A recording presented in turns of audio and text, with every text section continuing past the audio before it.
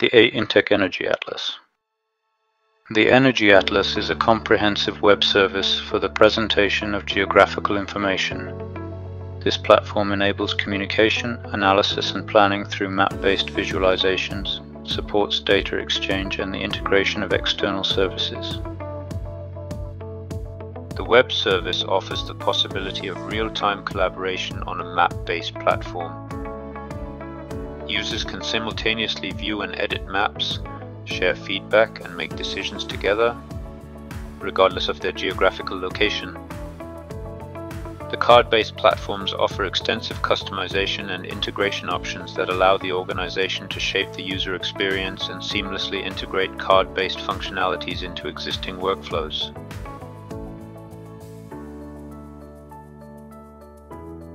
Layers are used to present spatial data, which facilitates a structured and organized presentation of information these layers allow users to overlay different data sets on maps for a comprehensive visualization of geographic information.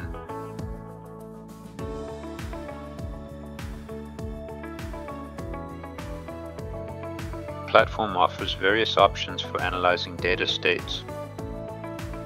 One method is to select properties based on their characteristics. In this example, we select buildings based on their energy supply type, oil or district heating.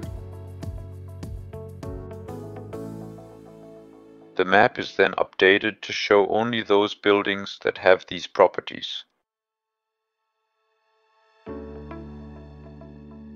Another method is spatial selection, where properties are selected based on their location in a geographical area.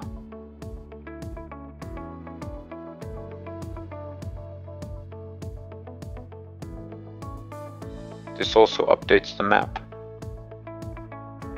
In addition, data is evaluated on the platform and visualized as a diagram. The filter method is taken into account in the statistical evaluation and creation of the diagrams.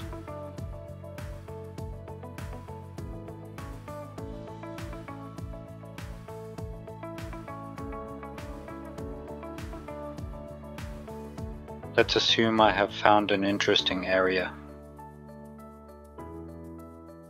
I can define a study area for myself.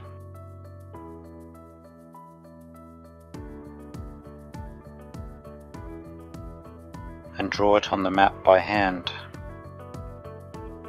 I automatically get the information from all the buildings within this area.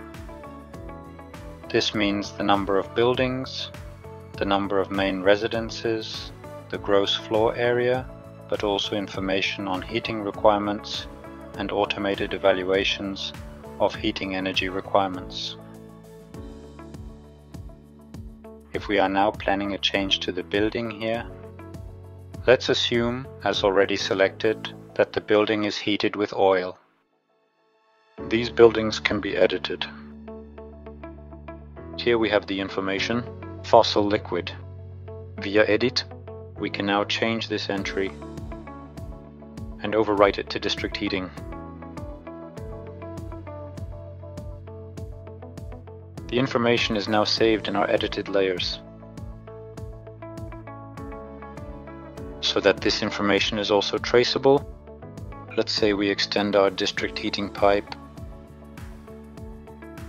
and draw new pipelines from the existing district heating pipeline to our buildings.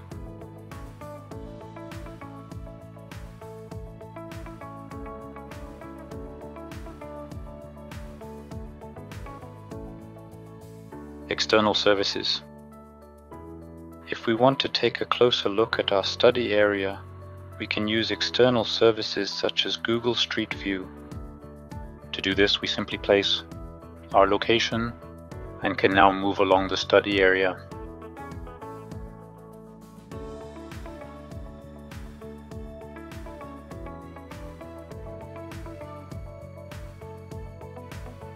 We are still in our study area we still have buildings that are supplied with oil. Now let's click on this plot. We get a print template, plot evaluation. If we carry out this property evaluation, all information on this property, potentials as well as energy sources are now aggregated, calculated and shown in our finished print layout and it is summarized which of these alternative energy sources can be used to cover the heat demand on this property.